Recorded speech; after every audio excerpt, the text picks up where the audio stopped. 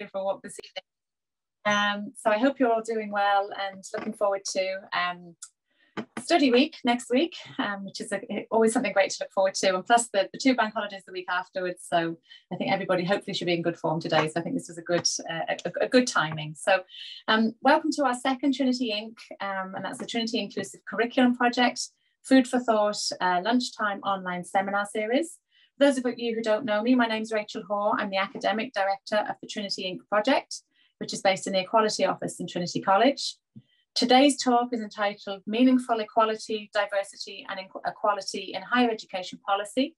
And this will take the form of presentations from Dr. Ross Woods, who is Senior Manager for the Higher Education Authority's Centre of Excellence for Quality, for Equality, Diversity and Inclusion, and our very own Professor Lorraine Leeson, who's Associate Vice Provost for Equality, Diversity and Inclusion here in TCD. This will be followed by a discussion between them and yourselves um, of the issues raised. Um, in addition to our two speakers, I'd particularly like to thank the other members of the Trinity Inc. team, so our project manager, Dorena Johnson, our school champion lead, Joanne Banks, and our student partner liaison officer, Sean Adderley, for all of their hard work in bringing this seminar series together. What I'd like to do first of all is just to provide you with a brief introduction to the Trinity Inc. project um, before handing over to Ross and Lorraine. Um, I realize some of you know about the project, but I'm assuming as well that some people don't. So it'll just be a very quick um, um, resume of the project so far. Um, Ross and Lorraine will each speak for around 10, 10 to 15 minutes, and after that we'll open the floor for Q&A.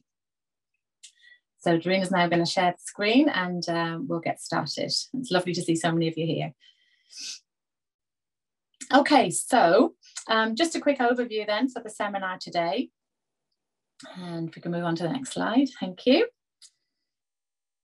So who are we and what are we doing? Well, as I've said, I'm myself, I'm the project director, the academic lead. Dr. Dorena Johnson is the project manager. Sean Adley is the student partner liaison. And then Joanne Banks has also come on board because she's got so much, she's our kind of resident ex, ex, expert in all things inclusive education. So we're delighted to have her on board as well. We started in October 2020 with funding from the Higher Education Authority. Um, we managed to get a commitment for a further three years funding um, until 2024. We're based in the Equality, Diversity and Inclusion Unit as part of the wider EDI agenda at Trinity. And our mission statement is to support the integration of the principles of diversity, equality and inclusion across the curriculum at Trinity. So just to say a little bit more about what that means, because there are many definitions of curriculum, some more narrow and some, some broader. Um, it often has uncertain boundaries. So what we we spent quite a bit of time at the beginning of the project trying to you know just define what curriculum meant to us here in Trinity, um, and we see it as the transmission of knowledge as ends to be achieved, as interaction of teachers, students, and knowledge, and as praxis. Um, the intended educational experience in the lecture theatre, laboratory, or seminar room, plus, very importantly, the hidden curriculum in the library, in work placements, um, that's, that's a huge one, um, and, and all of those other um, intended educational experiences.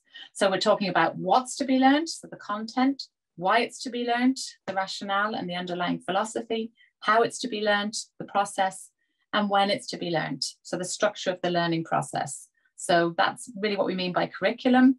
Um, we've reflected quite a lot along with our student partners upon possible curriculum exclusions. And most of these, it's really important to say, do occur unwittingly. So there could be barriers to student access and, and engagement. So for example, no plan to support the engagement of students with IT issues. Things like essential field trips may not be considered for barriers due to finance or mobility, students not able to um, not not having access to finance to enough finance to be able to go on essential field trips um, and, and just getting the information out there about specific funds that exist to help these students. Um, the lack of diversity in reading lists and contents, for, for example, homogen homogeneous um, demographic profile of authors or ideas and perspectives, pictures of conditions on white skin only. That's something that's come up with our um, students from um, the Faculty of Health Sciences. They don't see themselves represented in, in the curriculum. Barriers within teaching methods, So there could be teaching methods which haven't been evaluated for, for possible barriers to learning. So for example, students with English as a second language, we're seeing increasingly in our classrooms, students with disabilities and inaccessible lecture slides. Um, so we had a presentation yesterday, a little workshop, just a half an hour workshop on this issue. Um, the recording is on our website, so please, if you couldn't attend it, it's definitely well worth looking at. Um, so just very small things you can do to make lecture slides more accessible academic language, complex terminology, which isn't explained. That's something that we come that we hear from our student partners time and time again.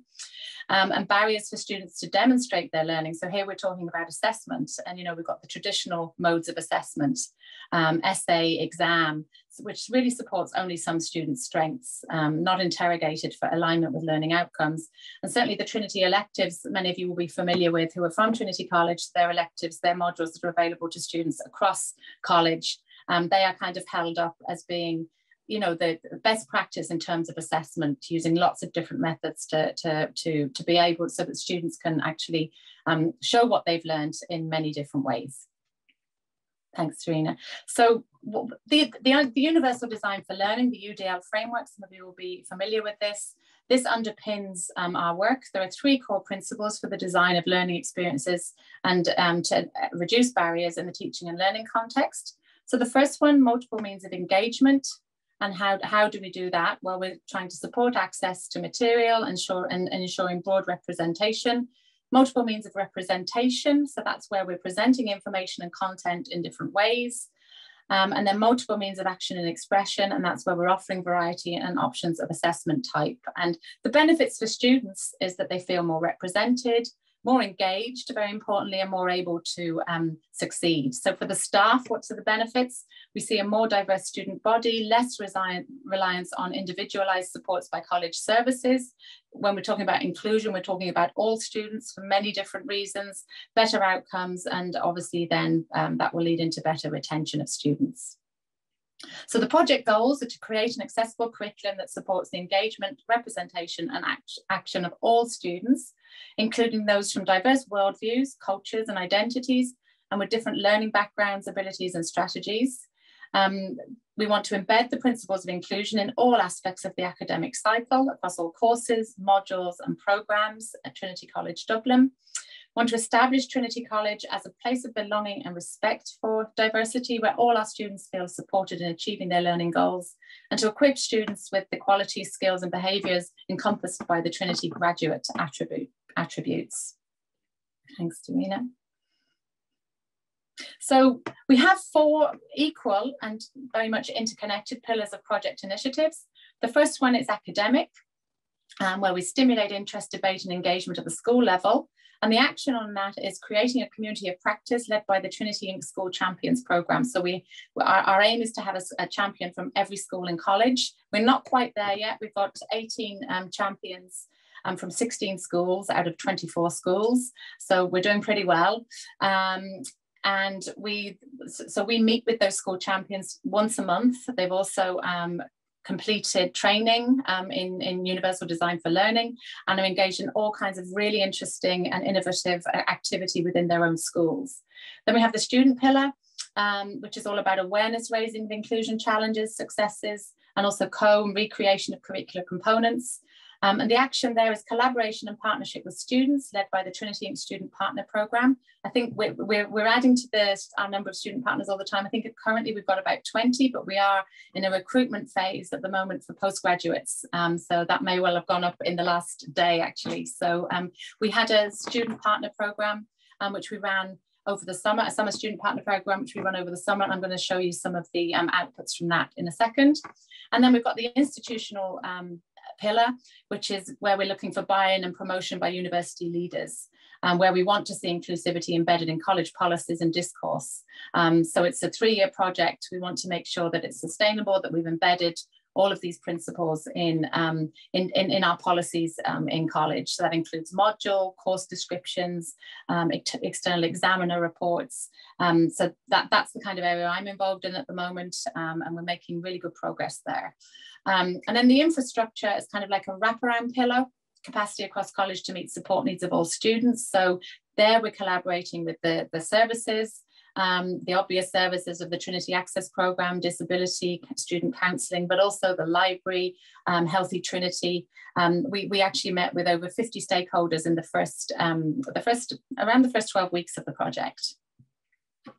Thanks, Tarina. So insights from students. So these were um, just to give you a flavour, and uh, these are all available on our website. And we'll put the website address in the chat for any of you who are interested.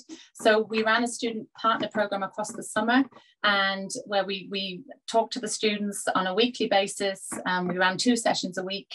Um, to uh, and, and to see what their kind of to, I suppose to gather gather together their insights of different things which they had found exclusionary, um, but also inclusive in college. So good practices and bad practices, and then we asked them to produce some output um, that would be useful for academic staff. So you can see there in the bottom right hand corner, there's a, that's just the kind of top half of a poster, how to be a trans ally in the classroom.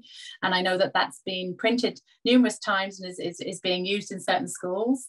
Um, so that's just, you know, telling us how to I suppose from a um, transgender perspective about how, how we need to address students, talking about pro, pronouns, um, all those kind of things that some of us might feel quite uncomfortable with sometimes or just might be very ignorant about. So that, that's been a really interesting, uh, really, really useful piece of work.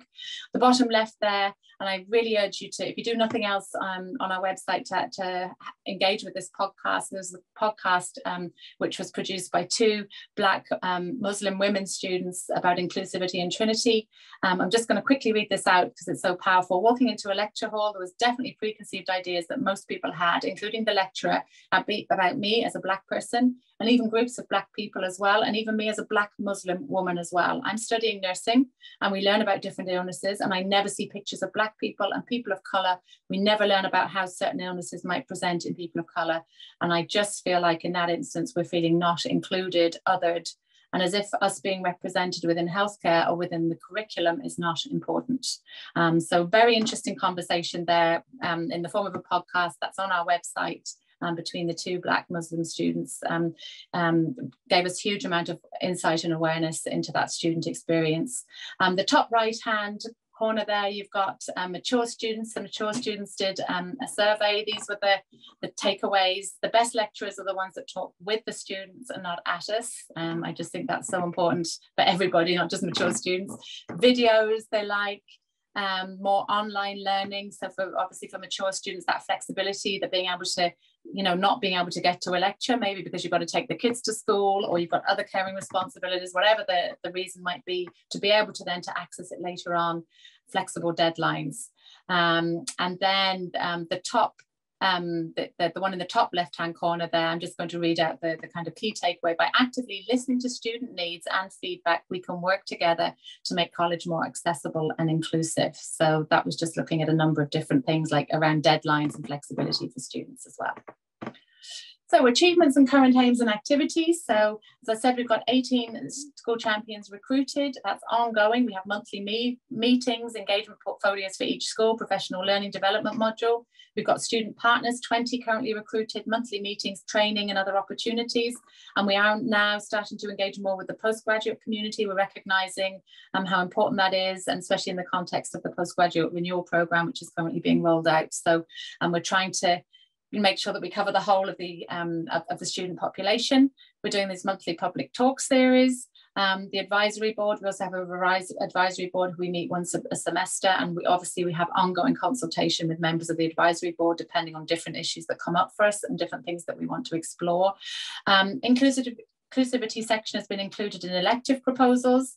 I'm currently looking at course proposals, external examiners reports, as I've already mentioned. So now when somebody puts forward um, an, a, a, new elective, they have to demonstrate that they have thought about um, issues of inclusion um, um in in in their proposal. And I've I'm, I'm, a member of that committee and I've, I've seen this actually coming through um, in the proposals and it, it, it, does make people really think about that. So these are the kind of things that we're trying to do to get it embedded. Um, communications we're trying to up our communications and our, our online um, social media presence internet internal digital screens and external via, via social media um, and um, the website so thanks a million. That's just a very quick whistle stop tour of the project. Please do um, have a look at the website if you want to um, have any more information or if you want to get involved, please do emails, email us as well or the um, information is there. So thank you for that. I'm going to now um, introduce you to Ross Woods. Um, so as I've already said, he's a Senior Manager of the Higher Education Authority's Centre of Excellence for Equality, Diversity and Inclusion. He has led the HEA's work on gender equality and other areas of equality, diversity and inclusion since June 2019. This has included initiatives um, such as the Senior Academic Leadership Initiative, the first ever report on race equality in Irish higher education, and more recently work to address sexual violence and harassment in higher education institutions. That's my great pleasure to welcome Ross. Hand over to you, Ross. Thank you. Thanks, Rachel. Um, I'm just going to try and share my screen. Um, I'm hoping the right one pops up. Let's see. That's all right. Okay, good. Um, Okay, great. Um, so yeah, as as um as Rachel just said, uh, my my role in the HEA is um basically the, to head up our work on equality, diversity, and inclusion across the higher education system. So, what I think I might do is I'll just give a quite a quick presentation here, which gives an overview for you on the work that the HEA is doing in this area, and um, try not to take up too much time with that. And then I know Lorraine has a presentation, and then maybe we can open up um, much more um, to questions and answers because I think that's much more productive in this type of space. Um, so, uh, ba- basic at the moment, we're the Centre of Excellence for Equality, Diversity, and Inclusion. But just to give a background to our, our existence, originally the centre was established very specifically as a, as a Centre of Excellence for Gender Equality um, and this was a recommendation in the then Department of Education and Skills Gender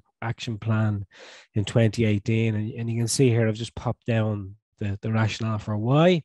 And um, the reason that we were established was to, and, and I'm sure um, everyone will love the um, the wording around this which was to ensure sustainable acceleration towards gender equality in Irish higher education institutions. And I'm still trying to figure out what um, sustainable acceleration looks like, um, particularly with all the discussions around climate change and the price of uh, petrol th- uh, these days. But anyway, this is what I've been tasked with doing, um, and how we were we were asked to do this was was to, by acting as a, as a centralized support to institutions, so and particularly to, to staff like um, Lorraine, who are who are leading on the EDI work within our institutions, um, to share good practice, try and you know pinpoint what was happening in different institutions and bring people together, because one of one of the things we've seen in equality, diversity, and inclusion work,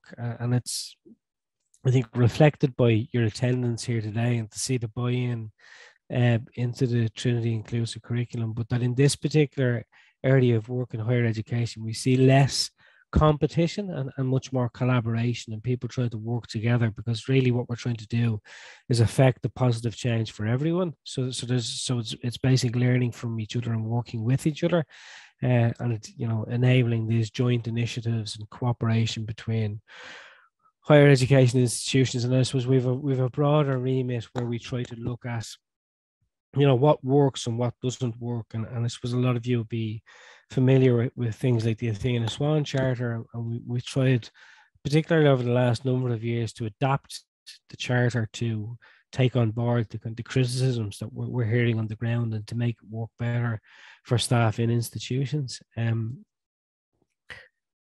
um, just the really the most important thing here, um, as I said, we do work closely with the institutions, but what, what I really just wanted to put here was that in August 2020, when Minister Harris became the first um, the first full cabinet minister for higher education, um, he expanded the remit of the centre to cover all areas of equality, diversity, and inclusion, uh, and as well as oversight of, of what's called the framework for consent in higher education institutions, which which some of you may be aware of. But basically, there's a broad, quite a broad area of work that we're we're involved in at the moment in the centre. Um, as I said, the main thrust of it was gender equality, starting with the the HEA review of gender equality in 2016, which you can see in the top left hand corner there, the department's own gender action plan, the efforts to implement the Athena Swan Charter. Um, we annually publish uh, staff data by gender. But in, more, in the last year, we, we've published two, uh, and really in the last six months, we've published two um, quite important studies which we hope will shape um, a move into broader areas of, of, of, inclusion and equality. So one was on race equality in the higher education sector, um, and the other was on the experiences of staff and students in relation to sexual violence and sexual harassment. And we just stop a little bit around the race equality piece because um, one of the key issues we have in terms of the equality work is gathering sufficient data to be able to evidence issues that we're seeing in various areas. And we've been quite successful. And one of the reasons why the early focus and, and, the main focus to date has been on gender equality is because gender is the only area where we have really good data in terms of staff. Um, higher education institutions across Ireland um, have yet to gather um, really comprehensive data in relation to staff by ethnicity uh, and also in other areas of uh, protected characteristics such as disability, sexual orientation, and so on. So we can't actually pinpoint what the issues may or may not be in those areas. Although anecdotally, we do know that there, there, there are a lot of issues, and, and the report that we published on race equality really focused much more on looking at these issues from um, a qualitative perspective and, and try to gather the lived experience of staff rather than um, look at it from a purely quantitative perspective. So, all that said, I suppose to date, the three main areas that we've worked on are gender, race, and ethnicity, and then um, sexual violence and harassment in, in higher education. So, just a quick overview of the gender equality piece, and let's share this these slides with Darina afterwards, and she can share them with you. And as you'll see, I've I've put links into all of the the various pieces of work that, that we've undertaken, which may may or may not be of interest to you.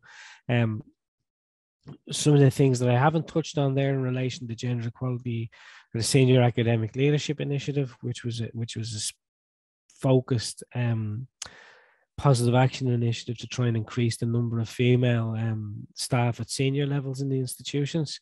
We've seen some progress there. We were at about 20% of professors in universities were female um, five or six years ago, and we're up to nearly 28% now. So we've seen a significant increase in that, and, and it reflects, I suppose, work that's going on across Europe as well in universities. And then we have a gender equality enhancement fund, which supports um, smaller projects kind of seeds projects in gender equality. And, and recently we've actually um, funded a project which looks at um, embedding uh, gender equality into the into the curriculum. So it kind of fades into the work that um, the Trinity Inclusive Curriculum is doing here.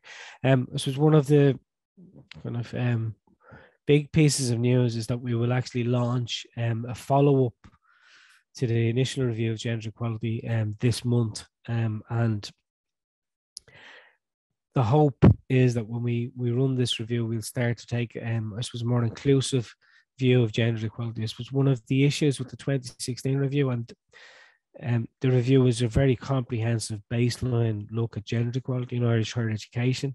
Something like that had never been done before, but it didn't take a, a fully inclusive uh, approach to gender equality. It didn't look at the intersection of other protected characteristics with gender, uh, and, and it was quite narrowly focused on, on, on female staff, I guess. So we're hopeful that we'll we'll have a much more inclusive um, approach to the review this time around.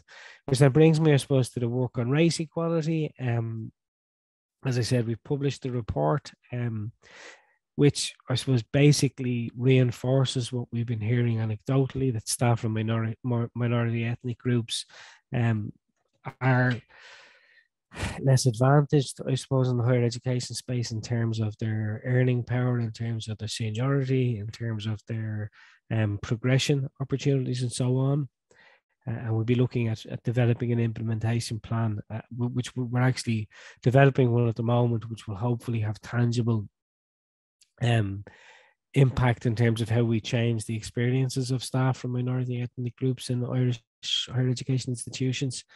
And um, another key thing that we've done is look at the collection of um, data by ethnicity. As I said, we have some institutions who, who are still, for their entire staff cohort, record ethnicity as unknown. So there's a big piece of work there that we're quite interested in at a national level, which is in encouraging staff to uh, voluntar- voluntarily disclose um, on equality monitoring data. So, so uh, and to kind of reassure staff that this isn't a, there's nothing nefarious about the need to collect this data, but rather it will help us to to to develop better policies around uh, equality, diversity, and inclusion.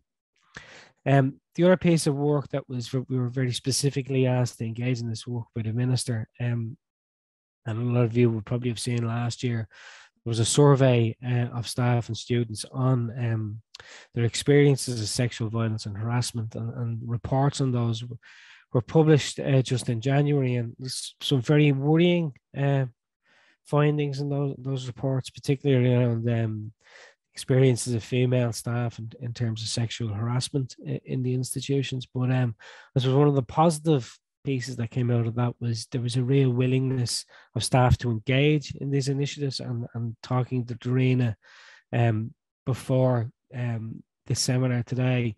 Um, it seems that there's a similar interest and a similar commitment from staff to engage in in the inclusive curriculum project. So so what we're saying is that staff are really interested in this area and, and want to engage and want to be, I suppose, empowered to engage. So so the HEA is very supportive of, of that approach. So really that leads me to end on kind of what are what are our plans nationally um, as a centre of excellence for equality, diversity, and inclusion. As I said, we, we've really looked at three areas: gender, because that's where the data was, um, consent, and ending sexual violence, because we've we've kind of this has been highlighted at at government level as, as an area of, of concern, and then race equality really because that we were asked to do that work by the institutions themselves because um, really I suppose um, staff on the ground like Lorraine and Siobhan are, are trying to get um, ethnicity data and, and I suppose there's a role there for the HEA to play to kind of assuage any fears that, that staff have around giving that data and also to um, counteract the, the cries of GDPR which seem to imply that data protection is more important than equality. And there's a big piece of work to be done there. So I suppose the future plans are to move into other, to look at other protected characteristics, but perhaps not to look at each area um, discreetly and rather to try to make the equality work that's already happening much more inclusive. So rather than have a review for every protected characteristic that we, we would look at um, leveraging the good work that's been done, say around gender equality, and make sure that those policies aren't just focused on uh, on, on, a gendered perspective, but rather would uh, benefit staff from all ethnicities, sexual orientations, if staff have disabilities, and so on and so forth. So, it's it, it the, the vision for the future is a much more um, I suppose, a much more inclusive uh, approach to develop to quality, diversity, and inclusion. Um, so I'll leave it there. Uh, Thank you, Ross. Just wait for you to stop sharing. Thank you so much for such a comprehensive overview, and I'm sure we'll be delighted to hear all the all the all the, all the really interesting and very necessary work that's going on, um, and also the intersectional piece, which came across very loud and clear plus the, the data collection. I know, I know this is something that Lorraine will probably mention because this is something we're up against um, all the time as well here in the EDI unit. So thank you. Um, there was a question in the chat there. Just I'll just ask you now, and one of our school champions was asking, are you um, talking about all staff or just academic staff? Yep, I was just about to um, reply to that. No, all staff. So all the data, the data that we collect is um, academic staff, and what what uh, we term um, uh, professional and um, support staff is uh, uh professional and management and support staff i think is the the terminology we use. But it, it, that's a bigger piece of work because there's more work has been done in, in relation to academic staff and academic staff pathways. But um something that's something that we're certainly concerned about is um the pathways for staff who aren't academic staff and, and how they can be supported to advance and, and, and not be left behind because I know there's often a kind of uh, uh, there's a there's an issue there around parity of esteem, but but certainly um, when we talk about staff, we talk about everyone. Brilliant. Thanks. Thanks for clarifying that, Ross. So now I'm going to attend to uh, Professor Lorraine Leeson, and she's the Associate Vice Provost for Equality, Diversity and Inclusion in Trinity College. She took on this role in September 2021. Um, prior to that, she served as Associate Dean of Research at Trin in Trinity College. So she was also the inaugural director of the Centre for Deaf Studies and served in this role from 2001 to 2018. She's also a first generation Leaving Cert student and first generation third level student from the North Inner City. And she completed her master's and PhD while working full time with a background in linguistics, sign language interpreting, and deaf studies, and an international reputa reputation in the areas of sign linguistics and interpreting studies. Lorraine is passionate about inclusivity and access for all. So delighted to introduce you to Lorraine, and um, I'll hand you over now. Thank you. Oh, thanks so much. Do you know what? It's so lovely to talk to you all. And it's so hard to know when you're coming to one of these events who will be the constituent members. And sure, if I'd known it was going to be all of you, I suppose we would have taken a whole different starting point and we could have just talked about strategy from the get go, right? But, and it would be great if we were all in a real room, wouldn't it, to, to sort of bounce some ideas around a table. But I do have a few slides and uh, let me make sure I open the right thing and, uh, and let's see if these are helpful at all. So Rachel very kindly um, gave the backdrop to the Trinity Inclusive Curriculum and I would be a fool if I even tried to add anything to that because there are more of you in the room with more experience, both in the area of, of inclusive education and in terms of the Trinity Inclusive Curriculum project than, than I could uh, add to. So I should be learning from me on that. Um, but I, I, think you know it might be worth just starting if I can with the higher level piece that that that sits within and responds to a degree to what Ross was saying about the the work in the HEA that's underway. Because in the college community of course you know we have our own strategy. We have our distributed approach to to what we're doing and what we have done. And that allows for brilliant opportunities for ideas to, to rise up but we don't exist in a vacuum. We're not just one university. We're in a broader society. We're in a sectoral response environment and we're also part of like you know from a, from a trinity perspective we're a member of coimbra and we're also a member of the league of european research universities so we're we're being informed by those conversations and also responding to them and co-constructing the way forward together.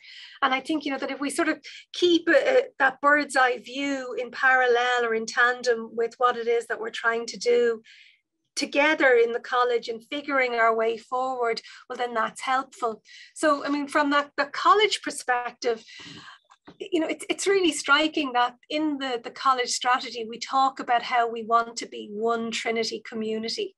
Uh, and that's that's something that's really resonated with me. And I've been thinking an awful lot about it um, since I, I took on this role last September.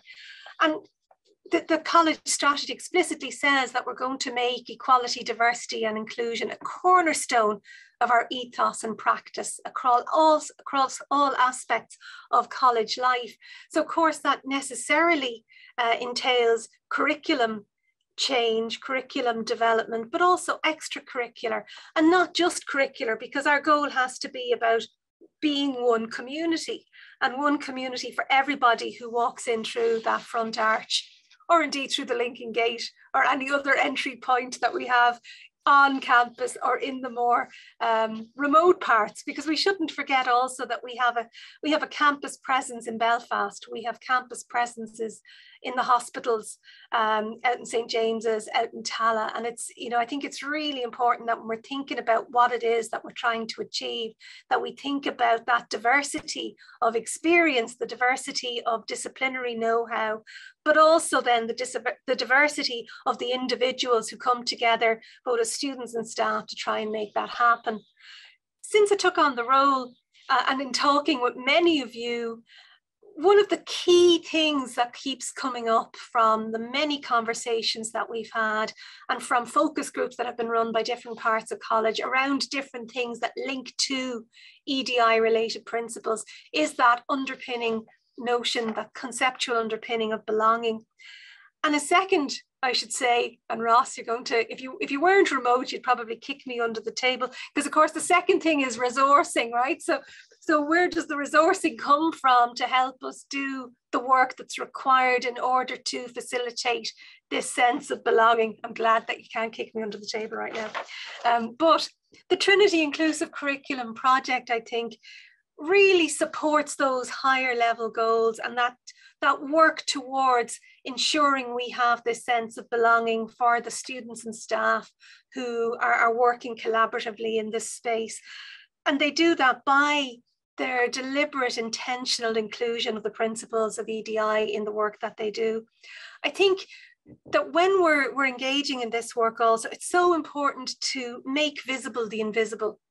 Uh, very often, you know, when we're talking about that sense of belonging, people have said things like, you know, we feel that we are coming from the margins, but sometimes where we are placed physically in the campus is on the margins still. So, you know, thinking about the, the psychology of how we respond to people, as well as the, the practical things that we're doing is very, very important.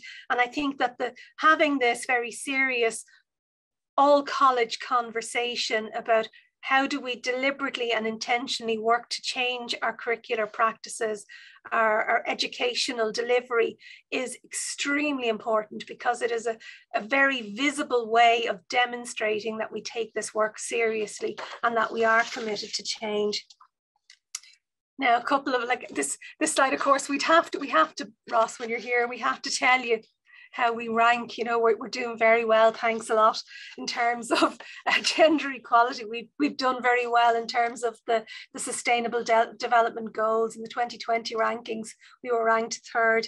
And there's been a ton of change. I mean, you've talked, Ross, about the changes that are afoot with the HEA and how there's this move from focus on gender equality through to that broader sphere of equality grounds and how you're starting to explicitly articulate them and cross-reference them.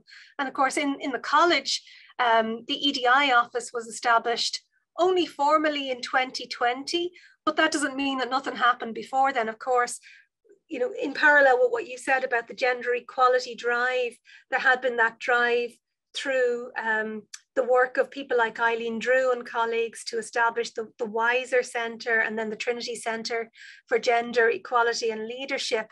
And, and it's that work that the EDI um, office has been based upon. And of course, we've had for a very long time, and we're lucky to have here with us uh, the chair of our Equality Committee, Professor Fintan Sheerin today. Um, but the committee, the Equality Committee is a compliance committee of board. And one of the things that we are working to do is to, to, to see how we can best ensure that the work we're doing across the college um, I suppose the way to think about it is we want to wrap our arms around all of the brilliant but sometimes dispersed and sometimes siloed work on EDI that happens across the college. And in fact, I think that the Trinity Inclusive Curriculum is one way of doing that because it is cross-cutting. It is deliberately and intentionally born intersectional, if you like. Um, and I think that we can learn an awful lot from the approach that has been taken there. You talked a little bit, oh, I think I might have, did I jump a slide? Um, yeah, I did. So diversity in Trinity, you know, we we also um, have a very diverse college community. Um, the college has been growing over time. We were told just yesterday, myself and Siobhan in a meeting, that this year, for the first time, we've gone over the 20,000 student number mark. And when you think, last night I was at the um, the, the, the women graduates in Trinity centenary celebration, and they were talking about in the 1970s, there were about two and a half thousand students on campus. So that shift over a relatively short period of time is quite extraordinary. And the, the fact that we are continuing to actively engage with, reflect on what we do, and seek to respond to that in meaningful ways is important.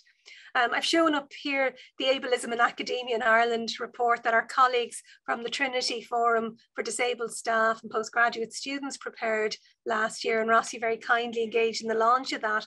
And I think it's important to reference disability here, and I'm glad that you did too, Ross, because too often uh, and this is what our, our colleagues say too, too often when people consider EDI, they don't include disability in that consideration. And it's so important that we do centre that there, and certainly something that I'm committed to do. For those who are interested, in college, we do have an annual um, oh, somehow this keeps jumping, an annual equality monitoring report that is available on, on the website. So you can have a peek at that if you want to see how we're doing across a number of, uh, of, of areas and uh, in terms of say student numbers, staff numbers, promotions, etc. But as Ross said, the problem is that if we don't have reliable data sets if, if and in college what that means is that staff need to proactively go into their core HR portal and select to identify themselves on a range of categories. It's all by invitation and, and you know, you get to decide what you want to tell us or not. Um, you know, again, as Ross said, it's not for nefarious purposes, but what we monitor, we can measure. And when we want to measure change and benchmark how we're doing, we really do need to have good, reliable um, data to underpin that work. So if any of you haven't done that yet, one of my asks would be, would you go into the core portal and add your detail? Now, we've learned a little bit about, coming back to the, the Trinity Inclusive Curriculum Project, you know, it's really impressive to see how that uh, student partnership approach is built in from the get-go to This links, I think this approach is one that has been adopted now in a number of instantiations in different college initiatives. So we see it in the brilliant work that's been done around consent with the Together Consent program um, from the Students' Union, with the counselling service and, and with the senior tutors area. We see it in the Trinity Ability Co-op with the disability support services. And we see it here beautifully articulated through the Trinity Inclusive Curriculum Project. And I think that that partnership approach has to be the way we go forward. You know, it, it really is, if we take that broader idea of nothing about us without us, well, then it has to also be instantiated in terms of that student staff relationship, uh, as well as in that sort of broader uh, inclusivity across the range of equality grounds. Uh, Rachel said, and she sent this to me to say how broadly they had uh, engaged and going back to that idea of it being a cross-cutting project that engages with the, the broadest scope of college, that just gives you a snapshot of what that looks like. And of course, as we said at the beginning, there's close alignment between the Trinity Inclusive Project and the uh, college's strategic plan. Where does that fit though in terms of so we're sort of doing the whole the whole world the university trinity inc and now back up another level. Last september when i stepped into the role i thought that this might be the edi landscape and you can see that the the trinity inclusive project certainly sits in there but as we've learned over the past few months, as Siobhan and I have been uh, trying to, to lay out the, the lay of the land in order to figure out what we want to cover in our EDI strategy, which is where we're going to next. Um, we've realized that it's a little bit more complicated and this is an incomplete mapping. Um, you know, I know I see here today colleagues from um, uh, from global engagement, from the sports centre. We've also had brilliant engagement and lots of interest from people from the research institutes across college.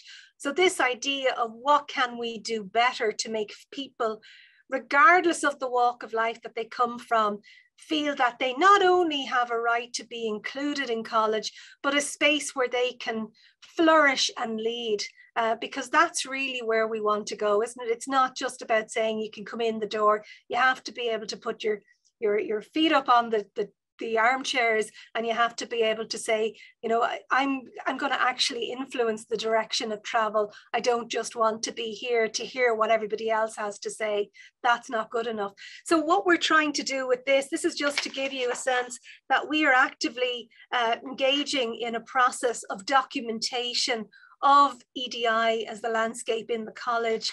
And from that, in the next couple of months, we're going to engage further in conversations with the uh, assistance of some of our, our LERU and more local uh, EDI colleagues to get that bird's eye view of where we're at and to see where we're going. But we will look along the way, we will be able to draw on the brilliance of the, the uh, Trinity Inclusive Curriculum uh, project and use that, I think, as a great case study for how we want to replicate other EDI activities as we go forward. So I should probably stop there and see if anybody has anything that they, they want to, to add or say or ask Ross. Where's the money, Ross? no, that's unfair. Where can we where can we get the resourcing to do all this brilliant work that we want to do? Thanks, Lorraine, for giving us such a comprehensive update there and overview of what you've been doing since September. I, uh, have you actually managed to sleep at all? um, so, yeah. can we see then if anybody has any questions, reflections, anything they want to say, ask? Fintan, yeah. Fintan. Hi, and, and thanks, Ross, and thanks, Lorraine. Very, very really inspiring and really informing as informative as well. And thanks, Rachel, for your introduction at the beginning. Um, I, I suppose there's one thing coming from a professional um, um, discipline. I'm uh, Ross. I'm I'm head of the School of Nursing and Midwifery.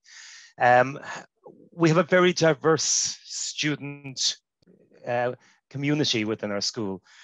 Um, but we have our students tend to go out out of the HEI setting, and this happens in a lot of other uh, uh, professional uh, areas, and they enter into other spaces. And as much as we try and build the EDI uh, structures and supports and the and the, the respect and dignity within the HEI setting, we have no control, if, that's the right word, or, or, or no oversight to ensure that that the curricular part, which is outside the college, uh, is the same experience. And to, from my reading of it, the, the HEA, HEA is there, but there are other other governmental bodies and other governmental departments which really need to be linking together to ensure that if, if it's not already, well, it doesn't seem to be happening based on what students are telling me, it is some way making sure that the that the students when they move out of the HEI actually experience things which are of the same quality as we'd like them to experience. I don't know if that's making sense. Yeah, so, so you're talking about placements and when they're kind of like learning on the job, basically. Yeah. yeah. Um, that's no, it's and it's a really um, it's a really interesting point, Fintan. It's not something which um, it's it's not something I guess I've come across before, but I can completely understand that. Um, uh, I mean, there there is like in the it, in terms of Athena Swan, for instance, um, you know, we come across that slightly inter in relation to who's eligible to apply. So if and, and that's really what you're what you're because for instance science foundation Ireland centres are not eligible to apply because they draw their staff from various institutions therefore the staff are working under different hr and so on and policies and procedures and so on which is kind of the situation that you're just describing here in terms of the placements but um I don't. I, I, guess it all comes down to funding and how those roles are funded, and I mean they are state funded. Um, the people who are teaching them on, on the job outside of the the academic setting and, and are, are state employees and should be beholden to the same policies that um, are in place within the institution. But I, I completely understand what you mean about how, how far the oversight goes and what you can do to um to look at it. But I, I mean that certainly sounds like something that would be an interesting project to to look at and to maybe um focus on. I, I, I think I would say that um embedding EDI in the curriculum is not is is not something which has been focused on at a national level to the same extent because I, I, guess because of the the extent of issues that we came across in terms of EDI and staff and, and so on um, it's not something that's been focused on but it certainly is becoming more and more an issue and, and as you know Trinity are leading on it in many ways with with the inclusive curriculum but there are other um, institutions which are, which are starting to pay more attention to it. And I mean Lorraine had the the big um, uh, slide there with all the different areas, and I've been having conversations about how how we expand without losing focus and, and so on. And I think that um, looking at things like the public sector duty and the human human uh, the equality and human rights um, duty, basic are, are things which may help us in terms of, of so maybe an embedding of human rights within the curriculum as opposed to because then the HEA are giving directives and are setting policies, but there's very little statutory ba- basis for what we're doing at the moment. Um, so actually leveraging other equality policies may, may be the way to go. And I mean, if it's purely, Fintan, a question of how do you make them do what they're supposed to be doing, I always find waving a statute or a piece of legislation at people, it makes them kind of uh, respond a little bit quicker. So I don't know if that answers any of your questions, but that's just kind of off my head. No, thanks, Ross. That's very, very helpful. But I think it's something we need to keep on on the agenda, um, and I'm sure Rachel and and and, and uh, Dervla, uh, uh, Darina will as well. Thanks. Thank you very much. Can, um, can I just make one little uh, comment there on that, Rachel? And it might be of some use for um, attendees to note. And Fintan, it follows up on your point. Uh, ahead uh, the Association for Higher Education Access and Disability are currently undertaking a project uh, on reasonable accommodations and professional placements. Um, and that uh, project, which I'm working on, uh, Wish Ahead, uh, is looking at some of those aspects in terms of uh, disability, around disability. Um, so, and I, I do know culture and um, EDI is coming up strongly in, in some of that data. Uh, so, I mean, th- that report should be launched um, in the summer uh, or early in the next semester. So uh, that uh, there might be some useful data from that to, to bring forward uh, to look at how students are transitioning from the college, like Fintan mentioned, into the mm-hmm. professional environment and how the uh, culture uh, and in terms of EDI uh, is affecting that. But it, it, obviously that's only one part of it. Um, so it's just something for people to note that will be coming down the pipeline later. Thank you. Thanks so much, Vivian. Um, Mandy, you had your hand up. Yes, thank you so much for this uh, seminar and this opportunity to learn from both Ross and Lorraine. Um, so I just want to say, I'm sorry for I cannot actually use my camera at this moment, but um, just to say that I am a staff member of, of ethnic minority background, and it is good to hear that there are so many initiatives and policies aimed at improving EDI for, for, for, for students, but also in terms of staff support as well. I think um, but I, I, think what I'm kind of trying to grapple with is this uh, link between policy and practice. Um, so I'm, I'm wondering like, you know, what kind of actual supports may there be for um, staff members who want to connect with um, also students of ethnic minority backgrounds within the college community? For example, I, am I'm, I'm from Hong Kong originally, and there is a proposal for a Hong Kong society to be established. Now, obviously, that goes under the CSC, and you know, and that that is a proposal that is uh, how can I say that was initially refused, and then we made a uh, uh, uh, we made a response to, and we're waiting on the answer for that. But what I'm trying to say is more generally, um, um, when when we were listening to um, you know comments from students about like you know having more representation in uh, in in the classroom or you know the way in terms of in terms of teaching materials etc how could we bring this into effect how can we how can we align people who are already um, you know, with from, from EDI backgrounds to be more involved in, in I suppose, um, helping college become a more inclusive environment. Um, it, it's, I, I, mean, at the moment, I think what I, for example, what I do, a, a lot of it is through kind of informal networks, um, through informal networks. And I would like to be able to um, work more with other colleagues also, um, you know, on, on how we can actually make Trinity a more inclusive environment, not just on an individual kind of grouping, or because I happen to be from a Hong Kong community, but actually to say, um, is there ways for us to actually link with each other, um, you know, staff members who, who are from ethnic minority backgrounds, we can maybe come up with initiatives and strategies the way um, initiatives and strategies have been kind of concentrated under the INC umbrella. So that's just a, a general comment. So thank you so much. Thank you very much, Mandy. Does anybody want to respond to what man? I know Mandy and I were in touch a good while ago. Um, Sure, I, I, have I have a couple of thoughts actually, Mandy, and thank you for that. So one one of the the thoughts is that uh, the, the Vice Provost for Global Engagement is extremely interested in ensuring that that this concept of belonging is one of the underpinnings of the new global engagement strategy.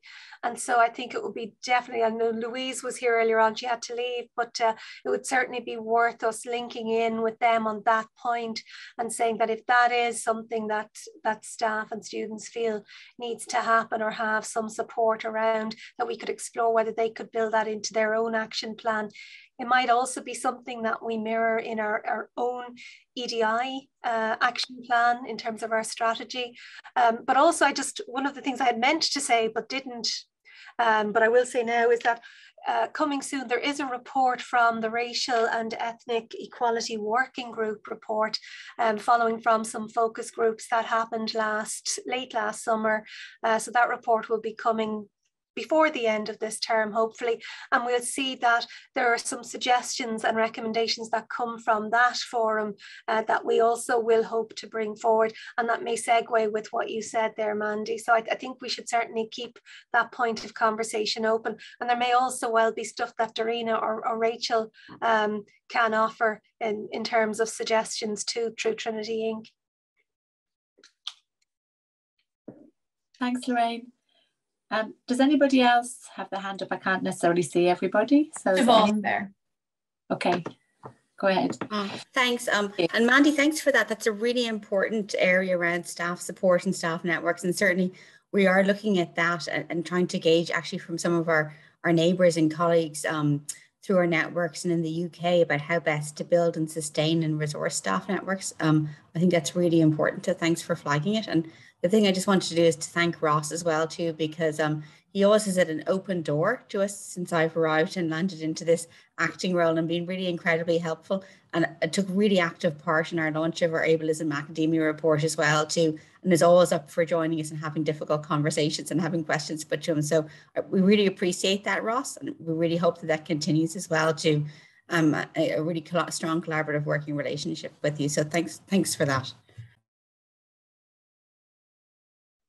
Thank you very much. Thanks, thanks, Siobhan. We'd, we'd like to echo that as well from the project's perspective. Um, and I know I actually met Mandy at one of those focus groups last summer. so it's kind of coming full circle now. We're, we're all really waiting to hear what the, the results are going to show. So really interested yeah. when that happens. Thank you. Um, yeah, thank anybody you so got... Sorry, Mandy, sorry. go ahead. No, just, just want to thank you so much for the responses. They have been very helpful. Thank you so much. Thank you. Does anybody want to make a final comment? Um, uh, lots of people needing to leave and saying thank you. So thank you so much to our speakers. Thanks, Clinton. Anybody, or is everybody just going off for lunch now? Late lunch. Thank you so much to our speakers, to everybody in Trinity Inc., and for everybody who attended today. Um, it's great to see so many people here interested in this area. And please do keep in touch with us and um, in, in touch with our website to see what other events are coming up and how you can get involved. Thank you, everybody. Bye.